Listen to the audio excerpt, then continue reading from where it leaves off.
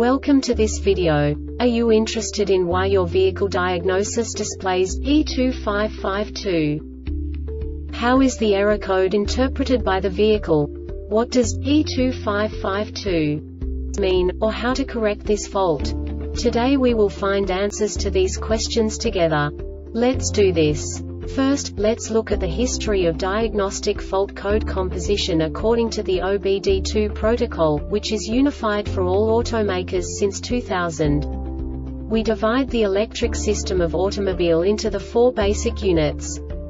Powertrain, body, chassis, network. This distribution is defined in the first character code.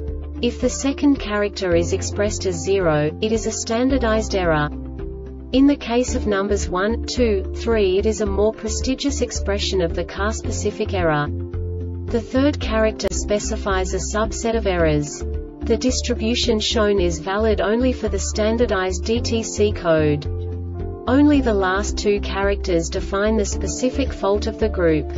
Let's not forget that such a division is valid only if the other character code is expressed by the number 0.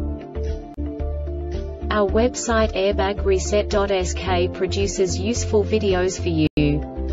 You do not have to go through the OBD2 protocol anymore to know how to troubleshoot any car breakdown. You will find all the diagnostic codes that can be diagnosed in a Honda vehicles.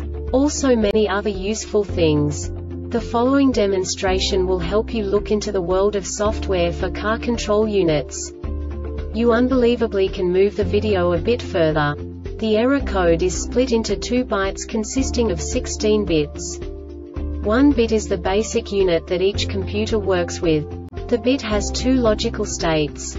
0, low level, 1, high level. By combining the first two bits, the basic character of the error code is expressed. The next two bits again determine the second character.